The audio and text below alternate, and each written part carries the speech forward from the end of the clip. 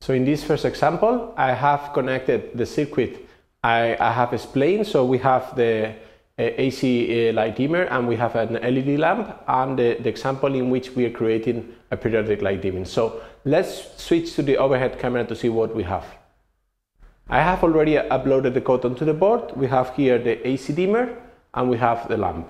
So if, if I release the reset button, then we see that the brightness increases and after a time it will decrease too.